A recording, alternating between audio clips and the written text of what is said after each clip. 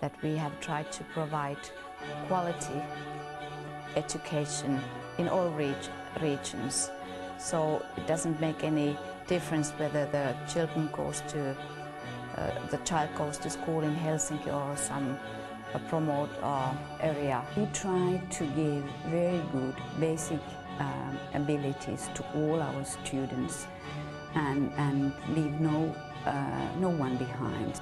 Tailoring of education to individual needs and uh, abilities and interests of the students as far as that's possible so that everybody would have this uh, possibility of succeeding. We need all our uh, young people to be able to learn and after school to be able to work for the society and of course to develop themselves as human beings. 五月八日起，晚间十点，《国家的远见》。